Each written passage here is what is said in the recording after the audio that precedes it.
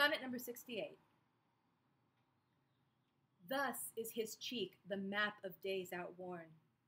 When beauty lived and died as flowers do now, before these bastard signs of fair were born, or durst inhabit on a living brow, before the golden tresses of the dead, the rite of sepulchres, were shorn away to live a second life on the second head, ere beauty's dead fleece made another gay.